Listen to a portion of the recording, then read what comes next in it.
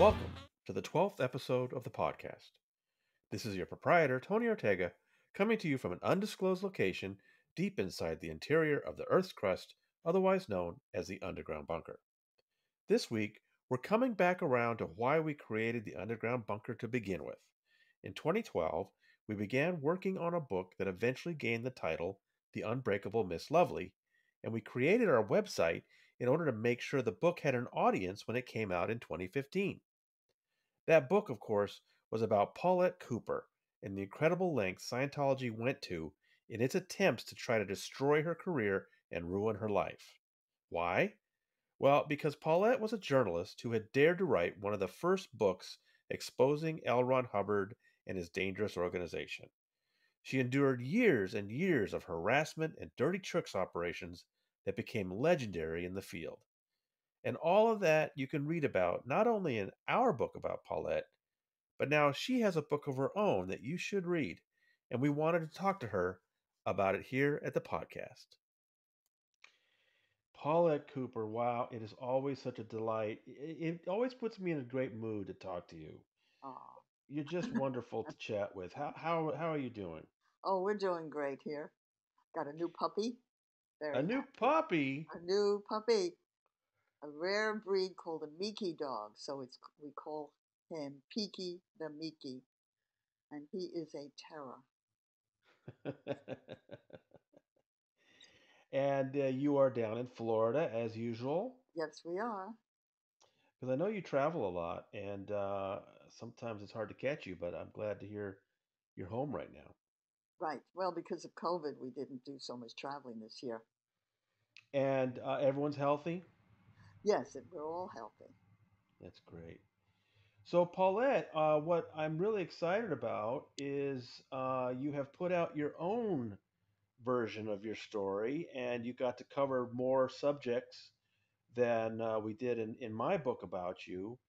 Uh, and it's got this wonderful big title. Please spell it all out for the audience. What is the title of your new memoir?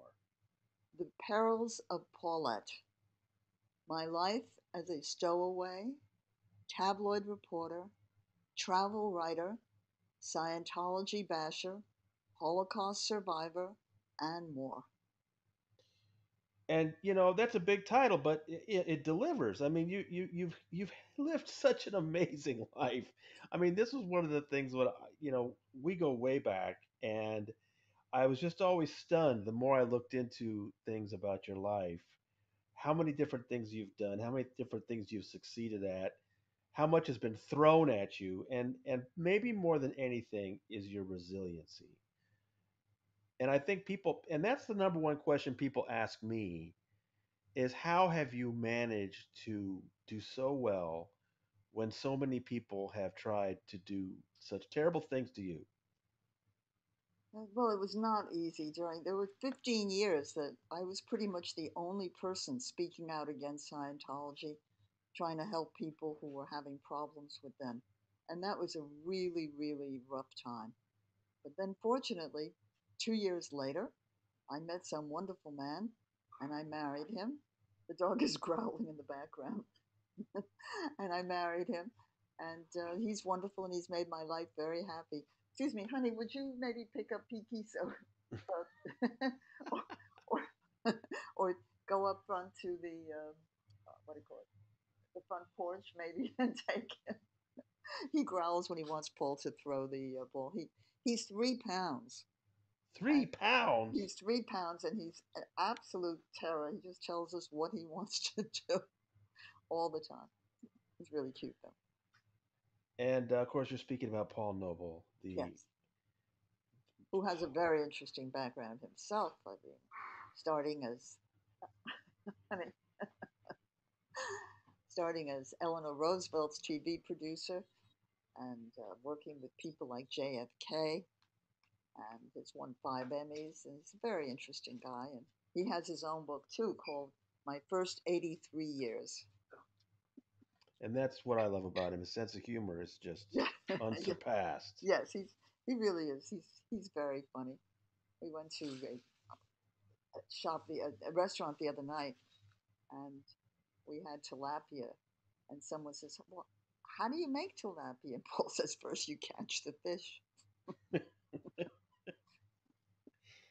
and I love the story. One of the things I, I I'm glad I got to tell in the book was that um, you had known Paul before all of the Scientology stuff happened, so that years later, when you met again, and just you know thought about dating him, you you you know you had to be so careful. You, so many of these people would approach you, and it turned out to be they were working for Scientology, and and you were the subject of operation after operation. But you you had known Paul before, and that and that made a big difference, didn't it? It did because they were trying all the time to get to me and, and succeeded to some degree because I ended up living with a guy that I didn't know was a Scientologist. And even after that, it was a constant thing where they they would introduce me, I would meet somebody, and then I'd find out that they were secretly working for them. And that was true even up to a few years ago, and who knows right now. I think things are okay. But I had dated Paul when I was younger. I was 25 years old. And when I started taking on Scientology, and then I met him 19 years later, two years after I stopped exposing Scientology, and I knew that he was probably okay. He, he always kids me and tells me he's in deep cover. But That's right. He's working on the long game there. so I could trust him. But it was very hard. I couldn't date for years because they were always trying. I mean, they tried directly through me. They even tried through my mother. They had somebody follow her to the beauty parlor and sit next to her and tell her about this wonderful son of hers that I should meet. And of course, the guy was a Scientologist. So that was my life for a long time. And even now, when strangers uh, try to contact me or people want to Facebook me, if I don't know them, I just have to assume the worst and I, I don't get involved. And just for those few people who may not know who you are, I know it's hard to believe anybody at the underground bunker wouldn't know.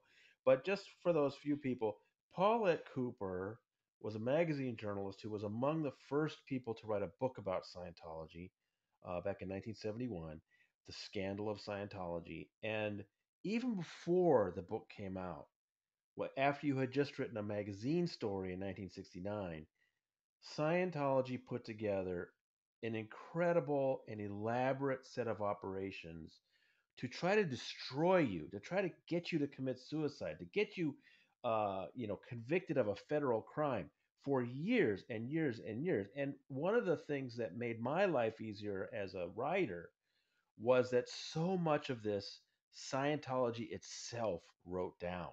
I mean, they they recorded all these operations against you, and from 1969 to 1985, they were heavy, they were constant, there was one after another, and uh, in those documents, they they had such an enmity to you for you, and they did, they wouldn't even use your name in the documents. They called you Miss Lovely, and that's why the title of my book is The Unbreakable Miss Lovely. Um, but like you said, even as you and I were working on things, we found new operations that had been going on just recently. I mean, it's incredible how much they've been keeping an eye on you and trying to really wreck your life. Uh, and that's why, you know, I was so interested in writing your story is it's just incredible. And let me ask you this question uh, because people ask me all the time, why do you think L. Ron Hubbard personally had such a vendetta at, aimed at you? What was it about you that drove them crazy, Paulette? Well, at that time, we're talking 1972, 73, there was nobody else speaking out against them. There was nobody helping people. The, they used to rob some the office, say, of a reporter and find that in his notes he had been talking to me. And I was everywhere. So they became really upset and they decided to put their entire they called it the guardian's office in those days now it's i think b1 everything they could to shut me up and as my husband will tell you you can never shut me up but they sure they sure came close because they wrote themselves bomb threats and had me arrested and at one point i was up for 15 years in jail because nobody believed that it was Scientology who had written the letters to themselves and called the FBI and said that they thought I did it. And it wasn't until five years later, when the FBI raided Scientology, that they found these documents about what they had done to Miss Lovely, which was their code name for me. Of course, they really meant Miss Horrible. And, right. And then finally was exonerated all those years later. Yeah, I mean that's one thing that's so remarkable about all this was that um, at the time 72 73 they were trying to get you put in prison um, part of the problem was that when you tried to explain to people that there's this church Yeah. using spies to try to Mhm. destroy me it sounded insane But then five years later like you said in 1977 there was this big raid by fbi and among the hundred thousand documents they took away from scientology's records were these these operations against you spelled out and you were completely exonerated. And not not just operations against you but operations against people like the clearwater mayor gabe cazares and other people just these elaborate i mean at one point they they had actually groomed a woman to be your double and uh, was supposed to look like you and then i remember you told me that that from some things your friends told you about calls they got they had actually developed a woman who sounded like you. They they had developed a, a, an audio double. Right. And that person was supposed to go around and make bomb threats at local stores so that they would then think the police would think, well, I already had a quote record because they had already had me arrested for it, and that the police would believe that I was the one. And by the way, in those documents that you're talking about, that's how I found out that the guy that I had lived with five years earlier was a Scientologist. It turned out that he was keeping a diary, calling in every day when I wasn't around about what I was doing. And one of the entries read, uh, Today she's talking about suicide. Wouldn't that be great for Scientology? Of course, I was talking about suicide because I was going to stand trial for a, had 15 years in jail over my head for a crime I did not commit. And most people thought, well, you know, she's a writer. She lives kind of a crazy life. And these people, this is a church. So she must have just gone off the deep end. excuse me, gone off the deep end and, uh, and snapped. and this this wasn't just a, a Scientologist that was that had moved in with you. This guy was a former Vietnam combat helicopter pilot He's gutsy. who, after the war, had gone to work for Scientology as a spy. hmm And um, I found documents about, uh, well, firsthand uh, testimony from somebody that was with him that uh, years earlier he had been uh, helping to break into uh, lawyers' offices in other parts of the country. This guy was an operative, and he was introduced to you by someone else who was a Scientologist as just, you know, y- do you need a roommate? He'll, he'll help you pay the bills. hmm And he lived with you for several months. And like you said, he was keeping a diary. He was reporting, probably reporting back to Scientology every day about what you, because it wasn't enough that they wanted to get you indicted. They wanted to try to make you suicidal.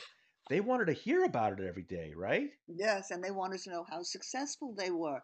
But also, one of the things he would do is he would say, She's going to be wearing her yellow dress today so that it would make it easier for somebody else to follow me to see where I was going and who I was meeting. It's So there incredible. yeah, there were a lot of reasons why he did that. So, but also, I believe that it was to get me to uh, kill myself. He used to go up to the roof every night. We had a rooftop pool where I lived, and he used to try to get me to go up with him. Of course, later I found out that there was a payphone up there, and that's where he was making his calls and calling in what I was doing. But also, he was a very gutsy guy, and there was just a very, very small ledge there, 33 stories up. And he used to try to get me to come up there with him. He'd st- stand on the ledge and say, Come on, you know, if you, if you won't do this, how are you going to have the strength to fight those bastards in court?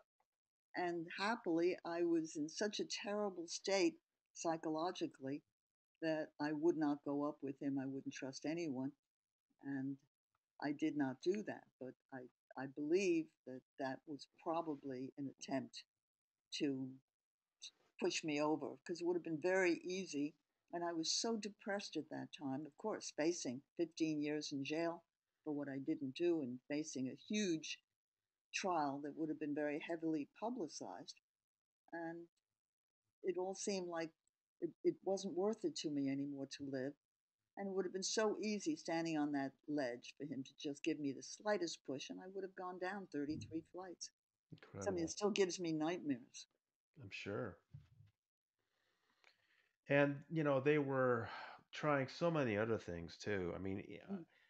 I I remember how shocked I was to find out uh, because that the story of you know Jerry Levin living in your apartment with you and reporting to Scientology that was fairly well known when we started working together on your story. But um, then there was the whole Richard Bast thing, right? Yeah. Later, uh, they pulled a completely different operation on you where a private investigator pretended that he was trying to expose Scientology, and you didn't know at the time that he was actually working for Scientology in order to get you to help him find out who was, you know, digging up dirt on the church. Right. Plus, they they tapped my phone. He paid for. I, I was in Washington D.C. to uh, look through these documents that we're talking about, and he paid for me to have a room at the uh, Washington Hilton. And of course, I found out afterwards that it was taped, and that everything I said was taped and videoed, and very much used against me because they were suing me. They'd sued me 19 times all over the world and I had to support all these suits myself. But I also counterclaimed on three of the suits, and they wanted information as to what I was doing legally. So they even offered a lawyer friend of mine ten thousand dollars just to that he should record me also when I discuss legal matters. Amazing. And uh I don't know, it just seems to me like year after year this would have worn down anyone, but it seemed like it, it kind of made you more determined than ever to expose them. Yes, because all these people see after I wrote my book, this which was really the first major expose of Scientology, after I wrote the book, people started coming to me and saying, you know, my son is in Scientology and his life is ruined, and lawyers were coming to me and saying how people were being sued and that they didn't have information, and reporters were coming to me and saying, I need help on a story, and there was nobody else to go to. So I felt that I kind of had to do this. Yeah, and and you made such a difference. I mean, it, all the major stories that were happening then were, eh, you know, at least quoting you, if not, you know, consulting you.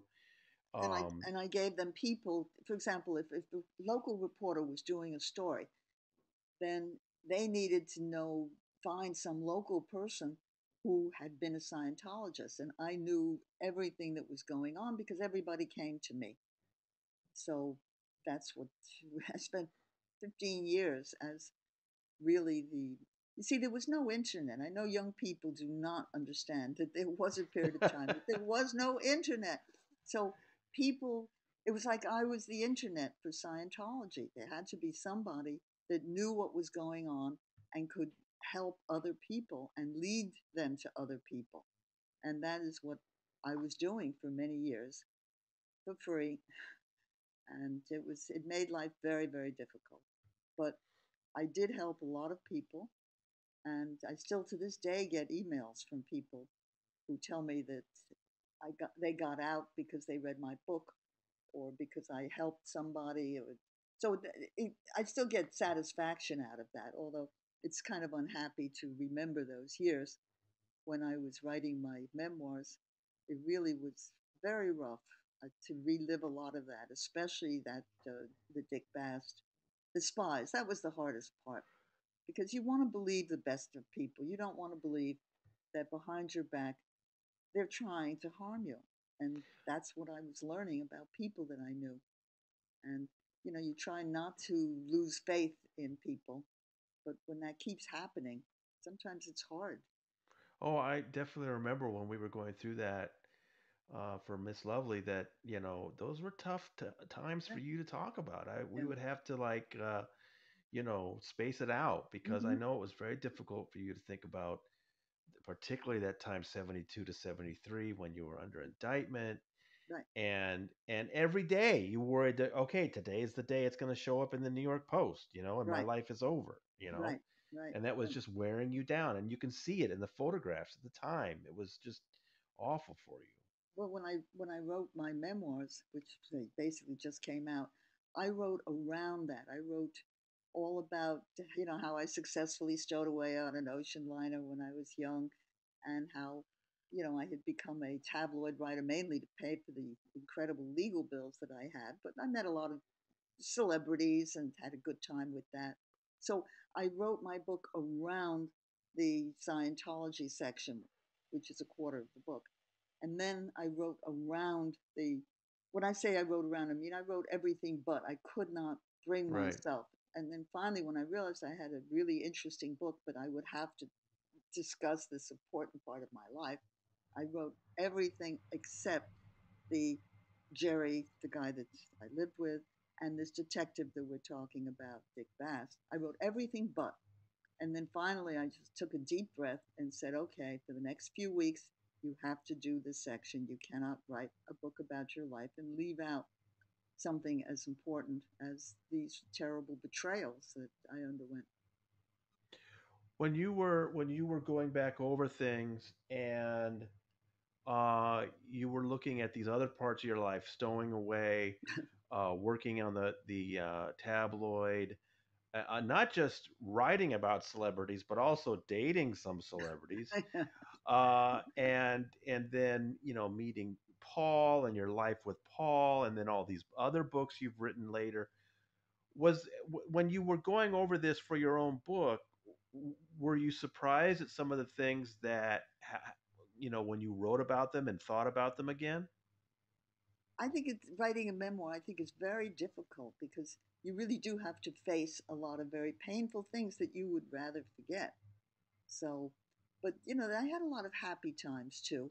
So I did write about that. I, I did, as you say, date a number of, and also interview a number of famous people. And then I did a lot of travel writing. So I traveled all over the world and mainly to get away from what was going on. So that part was fun. So there were, there were happy times. It was not all miserable. Just those 15 years. but there was another difficult part of your life and and and when we you know i had first heard from you gosh in the late 90s and then we finally got to meet for the first time i think around 2010 in manhattan and of course i had been focused on the scientology stuff but then i remember we we had breakfast and um i think i brought up your childhood Oh, I know what it was. You you when you were in Manhattan and you and I met for the first time, you had also been spending time with your sister who lives in New York. Mhm. And I asked you, you know, what have you you know, what's what have you two been, you know, talking about? And that's when you told me that we were trying to remember some things about our childhood that we're not sure about. And that made me very intrigued. And that's when we started really hunting down some facts about your first few years, which are incredible. You were born in Nazi occupied Antwerp, and both your parents uh, were killed at Auschwitz, and you weren't sure how you survived. And we then, uh, I mentioned that in a Village Voice story that got picked up overseas, and we began hearing from some really interesting people in the Netherlands who remembered you and told us and helped us fill in some details, uh, an incredible story about how you and Susie, your sister, were scheduled to be on a train to Auschwitz when uh, you weren't you you didn't end up on it and the and the theory that we were working on was that bribes had been paid and these Nazi uh, guards were so corruptible that they were able to save your life and get you into an orphanage. You were then in a series of orphanages before you came to New York, and just incredible stuff that you and I managed to put together. But then since my book came out, you've you've discovered much more about that. You've actually uh, reunited with some people, and tell can you tell me a little bit of uh, how much of that is in your new book? yeah. I reunited with. I met the man whose father bribed the Nazi guard at the camp that I was in to to let me out and also my sister out. And I met him, and now they, there has been there's been a group of people we've gotten together. We've uh, been on the phone on Zoom this year, who were all in some of the same orphanages that I was in. And one of them, in fact, uh, I have pictures with him. And then I, I tracked down two of my best friends from the orphanage. One had died, one had unfortunately had a very bad accident and had become quadriplegic. But it still filled in a lot of holes that I had for the first six years of my life. Then I was happily adopted by a wonderful family, the Coopers, and I became an American. And it really is related, though, to my fight against Scientology because I saw the Scientologists as a semi Nazi group, very fascistic group. And I felt that if in the 30s more people had spoken out against Hitler, what happened to my parents and six million Jews would not have happened. So that I really felt that even though I was paying a very bad personal price for it, I felt that I could not just walk away from a group that was doing as much damage and evil as Scientology was. And, and they were actually worse in those years, if one can imagine such a thing. Although I'm often very upset to hear that they're still doing a lot of the same dirty things, uh, still going after people like you, Tony, and Leah Remini and uh, Mike Rinder. And it's really sad that they haven't changed over the years. They are using some of the same techniques. I would say the biggest difference yeah. is uh, when they were running these operations against you, mhm, they tended to be carried out by Scientologists that were working in the Guardian's office. They were young, they were very indoctrinated, they were very uh, dedicated to Scientology, and they really thought of you as this horrible enemy that threatened Scientology. And so they were fully invested in trying to bring you down. And I'm I mean, I've talked to some of these people since then, and they have they, they admit this that uh, this is one of the things that surprised me the most, Paulette, when I was working on, on the book. I, I I really tried hard to actually contact some of these people who had run these operations against you. I had some limited success, and of course, the most wonderful was Len Zinberg, who felt terrible that he had volunteered for some time uh, in those operations, and he apologized to you. He's a great guy. But I ran into some of these people who were not apologetic, who was telling me 45 years later that you were a terrible person and they understood why Scientology was trying to go after you. I mean, it's incredible. And these were people who had left Scientology. But anyway, the point I was going to make was that the people who were running these operations against you tended to be these zealots who were in the church. The people running the dirty tricks operations today tend to be contractors, right? They right. tend to be they tend to be professionals that are hired outside people that are hired to, you know, trail Mike Rinder and, and Leah Remini and me. And the one person who really got it bad was Ron Miscavige Sr. Um, and they so these are these are more people doing it for the money than because they're personally invested in it. I think that's the big difference. But they, yeah, they are still doing some illegal things today. They're still doing some of the same dirty tricks. But I don't know, you know, that anybody got it quite as bad as you did. No, but the, uh, the internet, now you have the internet. So when they do these terrible things, it is exposed. Whereas when I did them, there really was no way of exposing them because uh, there was no there was no bulletin board in those Right. days. Well, there, there, you, although you at the time you were running a newsletter and you were Yes, sending out newsletters trying to educate people. I mean, the effort you put in was just Oh, Herculean. It, I'm 60, just blown yeah, away. 16 hours a day. It was barely And going. Paul kind of, I, I remember you said something about Paul. Paul, of course, has great respect for all that work, but he's kind of glad you're no longer doing that, right? Oh, absolutely. And also at the time that I married him, he was then in charge of acquired movies at Lifetime Television. And he knew that if I continued to fight Scientology and try to expose them, that they were going to go after him as well. Because, you know, they always do that. If they want to get somebody, they go after the people they care about. So he said, you know, when I married you, your continuing to work against them was not part of the equation. He didn't tell me I couldn't do it, but he was not happy. And I didn't want him to be hurt with all that. So I, I have not done a lot of interviews. And the my memoir is really the first time I've written about it. And I did give you some interviews to help you, you know, with your book. Well, I, I'm glad that you've taken on a lot of different subjects in that, though, and and so picking up our thread there, you you you survived the Holocaust. You you were adopted by the Coopers. Um, you went to some good schools, and then um, explain to my viewers why, or my listeners why you tell people you were the original Peggy Olson from the TV show Mad Men, Paulette. Yeah, it's been a long time since. No, I, I don't. I don't think I had used that analogy.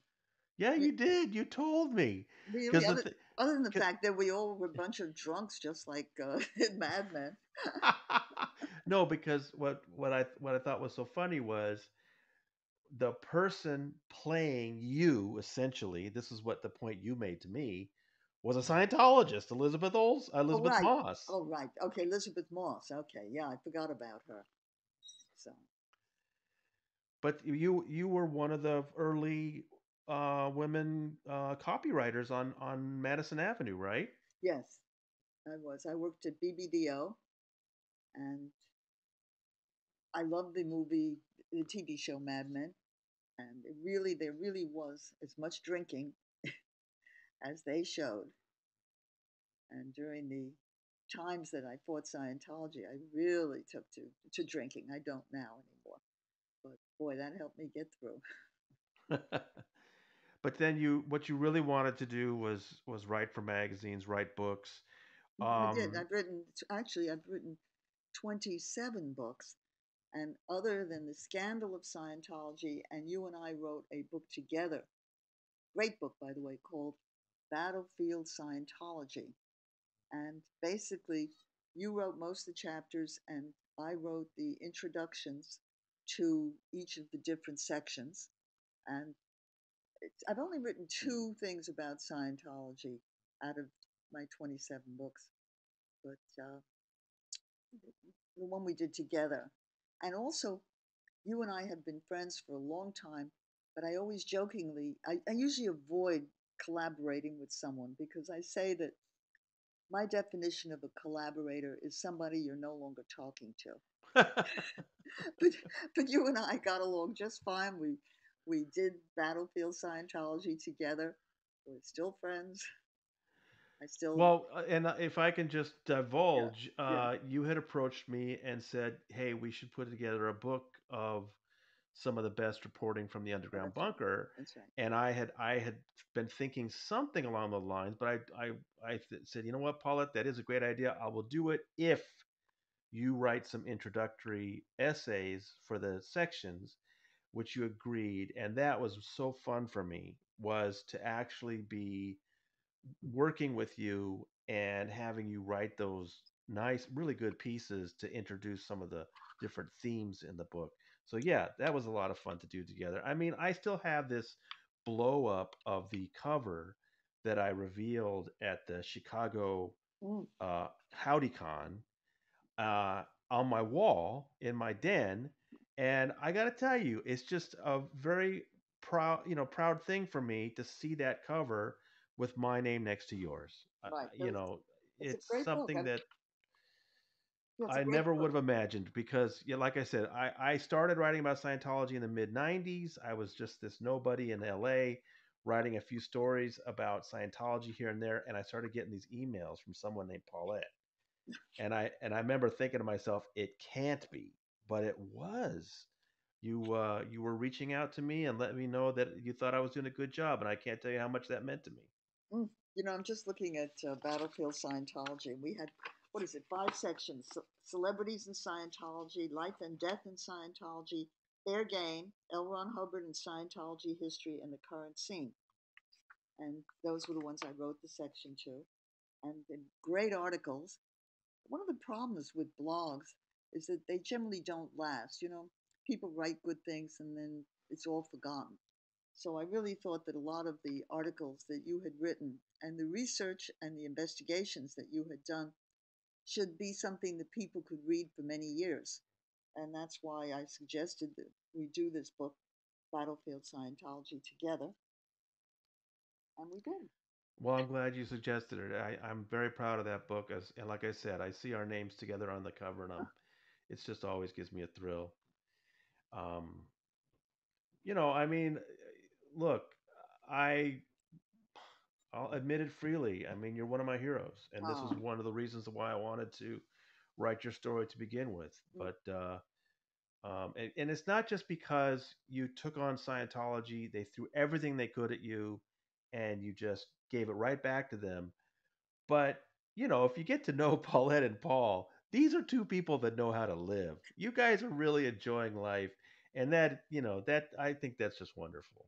yes, we we're very happy together. Except for the last two years, we didn't go out too much because of the of COVID, but we were fine. You know, we would have all our meals together. We didn't have to go out every night like we used to to enjoy ourselves because he's a lot of fun to be with, and happily he thinks I'm a lot of fun to be with.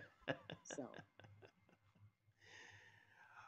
So tell me, uh, tell me some other parts of your memoir that uh, maybe people aren't familiar with if they've only read uh, Unbreakable Miss Lovely. well, the, the opening chapter is the true story of how I successfully stowed away on the Leonardo da Vinci for a week and did not get caught. And uh, then were the, my years as a tabloid reporter, interviewing people like Jackie Onassis, uh, Jackie Kennedy Onassis, and Pat Boone, a lot of major celebrities, Allen Funt, with whom I had an affair afterwards, and uh, Eric Sevareid, who was then a very, very big uh, announcer on TV. And then I have a section about my years as a travel writer and traveling all over the world and some of my experiences with that. And then, of course, there's the quarter of the book is my years with fighting Scientology, and it's it's the same story in a sense as what you had in your, your book, The Unbreakable Miss Lovely, but told from the standpoint of me, first person, Sure. and a, a little bit more intimate. And uh, then the my Holocaust past, and you know how my parents were killed in Auschwitz and being brought up in orphanages, and years later, actually, a couple of very good things happened to me as a result of my fighting Scientology.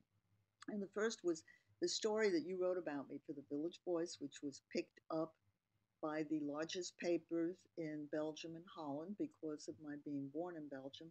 And that is how this man contacted me. He read the story and he your story, and then uh, he realized that he had been told this story by his father, and that it was his father who had bribed the guards to let me out so that I didn't go to Auschwitz. And that was just one week before, and I would have been killed instantly if I had gotten there. And the other good thing that happened because of Scientology was that the lawyer who I met, uh, now the lawyer who worked on Scientology, um, had a party, and Paul, my husband to be, was at that uh, was at that party, and I I had known this guy for many many years, Al, but I would not have been invited to this party except that we had renewed our friendship when he worked with me on Scientology. So, in a sense, I met my wonderful husband because of what happened to me and what I did.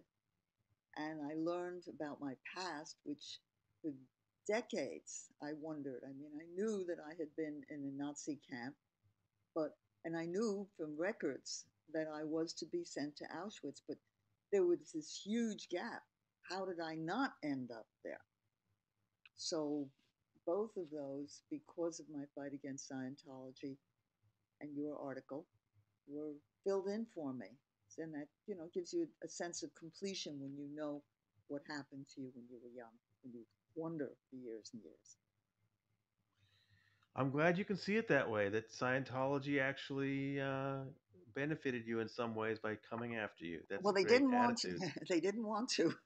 right. The last thing in the world they would have wanted is anything that made me happy, but it did ultimately.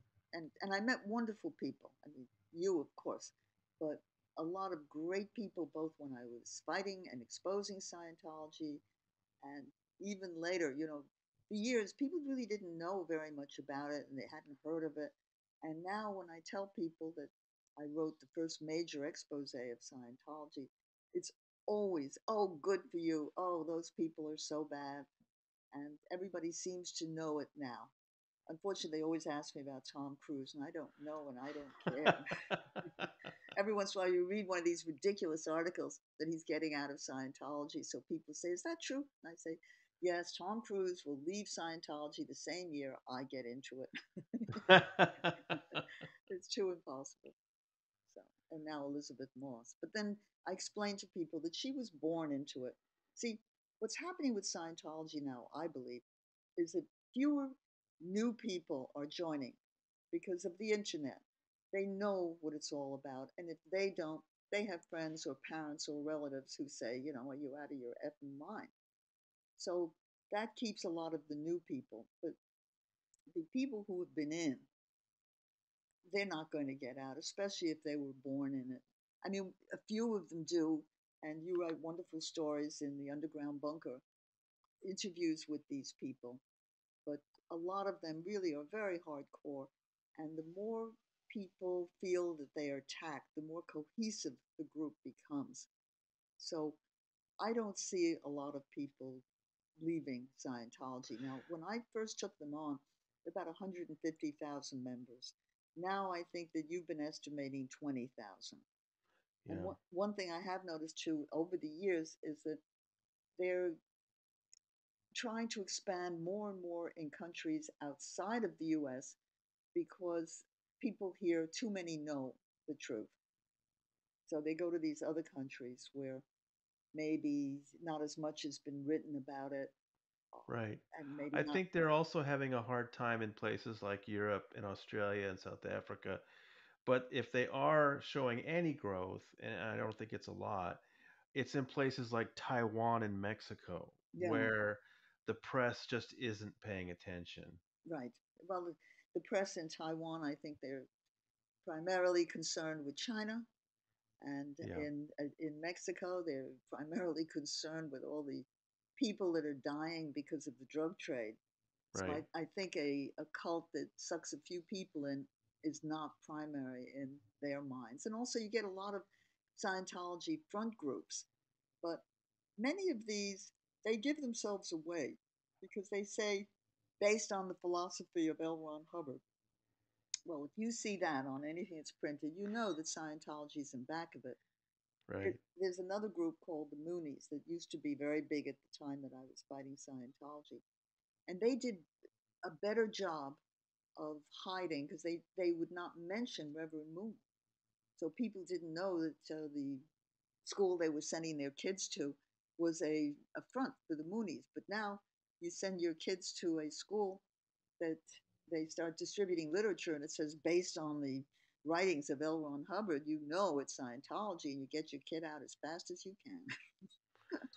exactly, because uh, as we heard from Patty Moher just a couple weeks ago on the podcast, she was working with those front groups that actually operate uh, schools and, and the curriculum. And she was saying that it's not just that Scientology controls them, but the spy wing of Scientology controls those front groups. So it's you know it's really nefarious, mm. and they try to they try to pretend that these groups are independent, but they really aren't. Um, yeah, you gotta you gotta be wary. They always try to say that people for example, the people that attacked me, they say, oh, they were acting on their own. And uh, we had nothing to do with that. And they're not members of the church anymore. And none of that is true. One of the things we saw when the FBI raided them and took their documents was that all of it was there were notes from L. Ron Hubbard himself on some of the ways that they were attacking me. And afterwards, yes, they did have them leave technically Scientology, but they're all still Scientologists. That's why they won't talk. And even, I mean, uh, I remember I heard several years ago that there was a there was literally a Cooper IC, and in Scientology, IC stands for in charge. Mm-hmm. So there was literally a person whose title mm. was Cooper IC, Cooper in charge. That they, that that person was in charge mm. of the unit that was monitoring you, dreaming up operations against you. And this this person had come out of Scientology. I got very lucky. I, I got to know somebody that knew him, and I got his phone number. And I called him when I was working on the book, and I said, "Look, I know you're no longer in Scientology." But that you were the Cooper IC, and it would be really great if you could talk to me about the book. I don't, you know, I, I don't need him to like Paulette today, right? Mm. We just need him to tell what he knows and and he he was really rude and just said she doesn't deserve to have a book written about her you mm-hmm. know and i was like wow that's something and he just died recently and so i was able to finally identify him mm. but uh, apparently paulette he never came around and i just find that isn't that incredible well when you tried to call jerry the scientologist i secretly lived with Remember, he said, Yes. I, I don't speak the language. I don't know what you're talking about, and hung up. Yeah, and and I mean, we knew we had the right guy, and and he just pretended that he didn't know anything about it, and uh, uh, that's as far as I got with him. Um, you know, people. So there are some people even today, 45 years after Yeah. these events, Mm.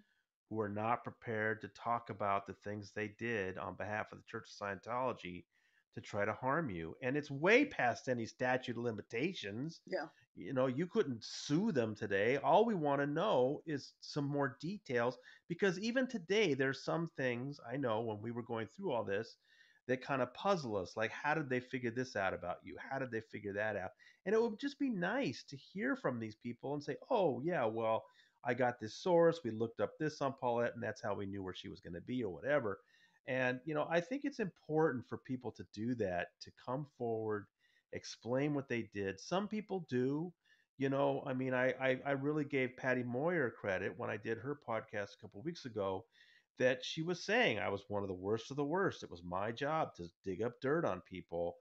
And, you know, I, I think it's important for people to do that so that we can hear how Scientology operates. Well, they, they don't they don't feel guilty because they don't think they did anything wrong.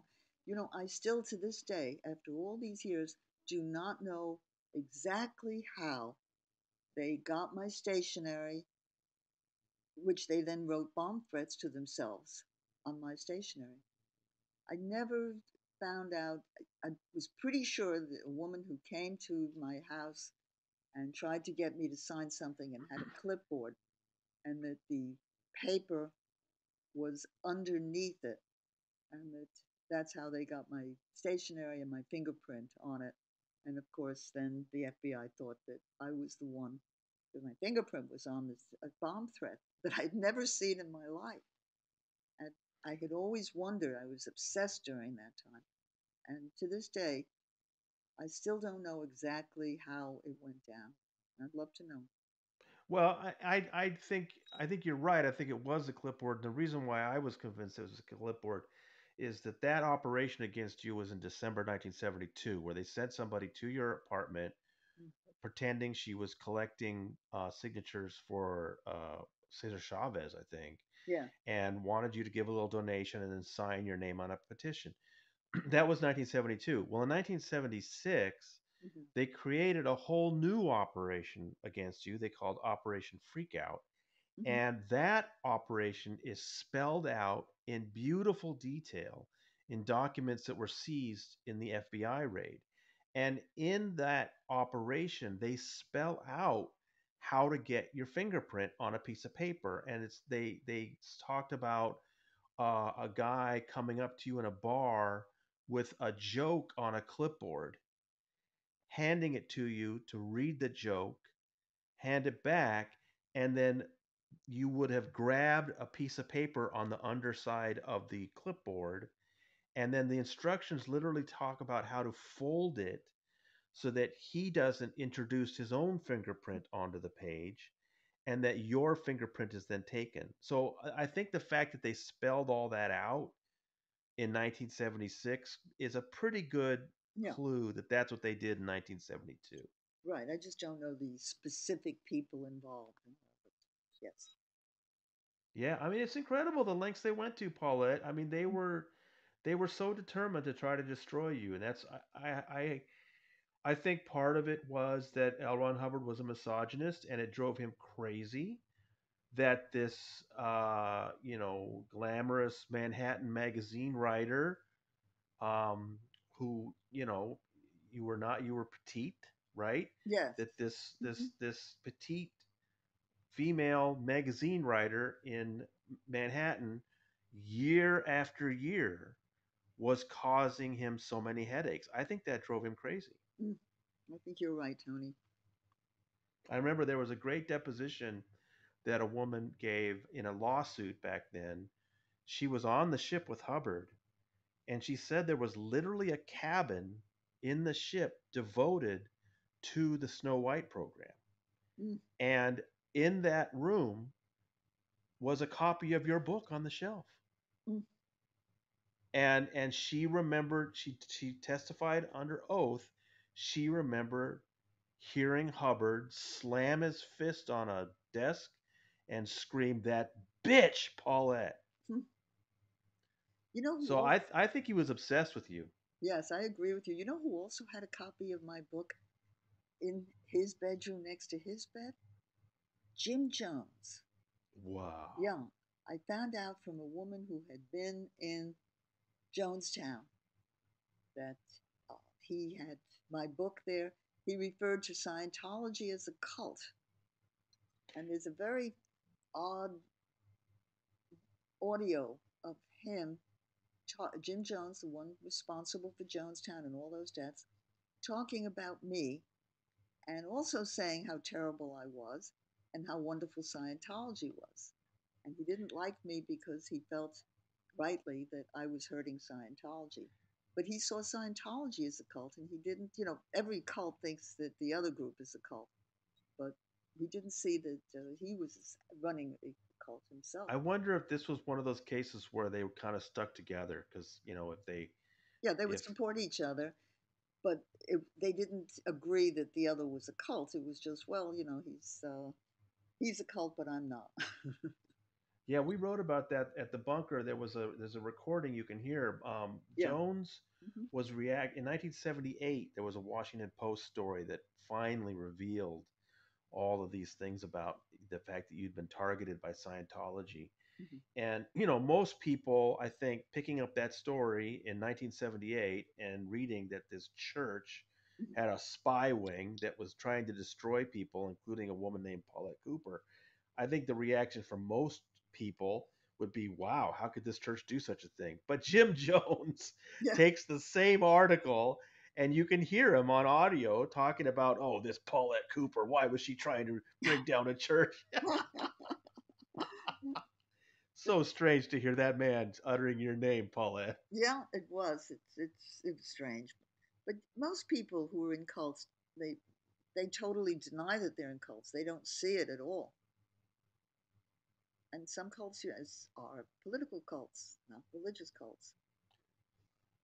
Are you surprised that more than 50 years since your book came out, that is, that Scientology is still in the news as much as it is today? And I know it's been hurting because of the pandemic, but I mean, it still does have buildings all around the world. Are, are you surprised that 50 years later, Scientology still has the presence it does today? No, because this is true with other cults. There are people that still believe in Jim Jones And do you remember this really weird cult called the Bo Peep cult, in which they believed that they were going to be resurrected and united with a UFO, and the men castrated themselves, the boys? It was a really bizarre case. There are people who still believe in that, uh, the leader. So, no, I'm not surprised. And Scientology took their money, people's money, and they put it into real estate. And they often purchased buildings that, say, had historical significance, important buildings, but that had become run down.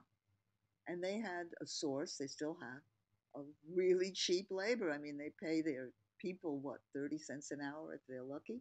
And and these people re, redo these places for them. So they Yeah. have fabulous real estate holdings. They don't need to have a lot of members. They've got huge amount of money.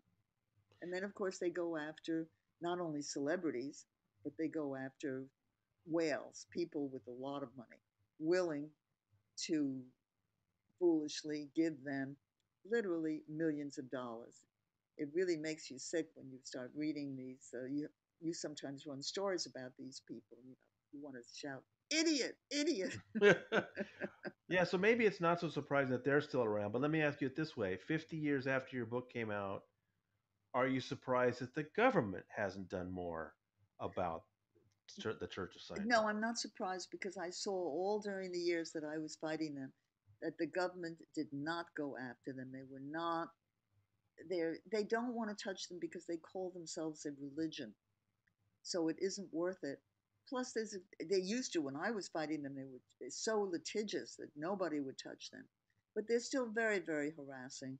And you get, for example, a judge, and he knows that if he just doesn't, if he goes against them, he's going to be harassed and if he has a mistress or something they're going to put detectives and find out.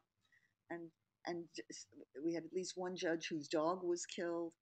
And they just say who cares? It's just another you know. And so they go along with exactly what uh, you know the scientologists want.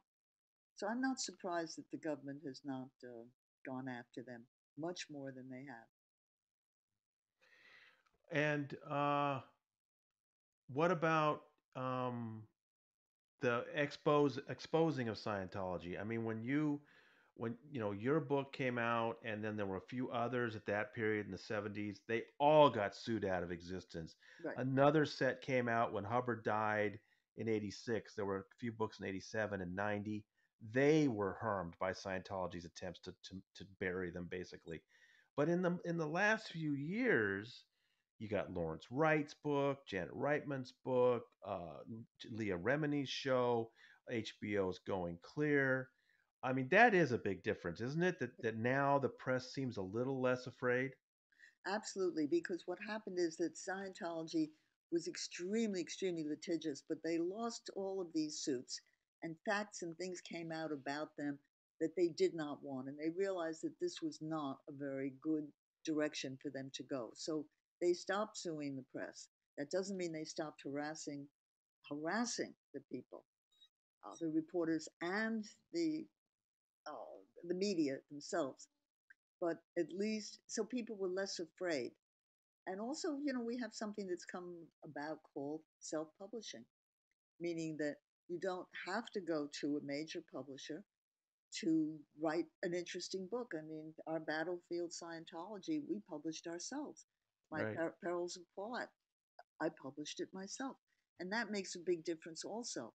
Now, there were some excellent books uh, done by, you know, uh, Larry Wright and uh, Janet Reitman and but they went to major publishers. After a few books, publishers are saying, "Oh, it's already been written about," and it would be hard to get at this point another major book by a major publisher. So, but that's enabled a lot of people to tell their stories, and there really there must be how many how many uh, first person stories do you book? You know, I know there's some great new ones out. I mean, I love Marc Headley's book they've been and wonderful. and They've been wonderful ones. Jefferson Hawkins and and Amy Scobee Right. and uh, I've uh, read you many know, of them. They're really very good. Whereas at the time that I had my book, there was George Malkos, who was not negative at all to Scientology. And there was a guy named Robert Kaufman, and he came out with a book around the time I did. His was a first person story. But what happened is that he ended up in a mental institution, which he blamed on Scientology's techniques and what they did to him. But they were able to dismiss him and his book by saying, well, he's crazy. He was in a mental institution. And in my case, I didn't have a background where they could say bad things about me. So they had to create it and Right. write themselves these bomb threats and have me arrested so that they could say, see, she's a felon and she's insane. Right. And let's uh, point out something else. So your your book, Scandal Scientology, came out in 1971. Robert's book, uh, Inside Scientology, came out in 1972. And let's give him one credit he very much deserves, because people think of this as coming out many years later in the LA Times and things. Robert Kaufman is the first person who published the name Xenu in his book in 1972. Now, not a lot of people saw it then and didn't, you know, wasn't, you know, become a big part of the press or anything. That came later. But let's give him credit. He was the first one to reveal some of those upper level secrets in print. Um, but it's, I mean, this is the kind of thing I'm fascinated by is this whole publishing history. And now we have a new book. Paulette, please give us that title again so people can find it. What is the title of your memoir? The Perils of Paulette My Life as a Stowaway, Tabloid Reporter, Travel Writer, Scientology Basher, Holocaust Survivor, and more. And I hope people find it. Uh, you will be amazed at the many lives lived by Paulette Cooper, and uh, and uh, I hope you can see what a delight she is. Paulette, thank you so much for taking the time to help us out with this. Thank you, Tony. I always enjoy talking with you. Okay, talk to you later. Now I will go down in Bunker Town again, again, again